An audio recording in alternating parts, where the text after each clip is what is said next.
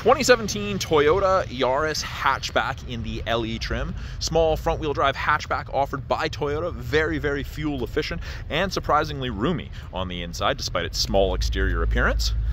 In the rear, plenty of room for cargo. We have a privacy cover that can be removed but hides everything from the top of the seats down. Easy to remove. Underneath the false floor, spare tire, and room for anything else you may need to carry with you in the event of a spare. These seats do fold down very easily, lift and push, and you've just substantially increased the amount of storage space you have.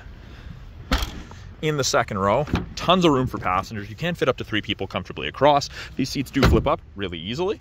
It is the light and dark gray two-tone cloth upholstery interior, but great headroom and great legroom for passengers. The rear door card, you have your power window, and you do have a child lock should you need it. Up front, you have a padded driver armrest, your power window switches, window lock, and door lock should you need them. We have a height adjustable driver seat, and it is the same cloth upholstery on the front seats as it is the second row seats. By the driver's left knee, we do have our power mirrors and scroll wheel for the brightness of the gauges. Down below, we have our auto high beams and we have our forward collision mitigation. In the driver's seat, it is a keyed ignition, currently sitting at 67,973 kilometers on this 2017 Toyota Yaris. On the steering wheel, left-hand side, we have our Bluetooth and audio controls. Right-hand side, we have our lane sway assist, and we have our cruise control. We have Toyota's easy to use infotainment, AM, FM, CD radio, Bluetooth.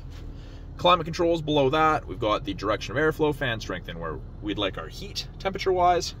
We have a 12 volt power point and a USB and aux for listening to music. Cup holders, and this is in a five speed manual transmission.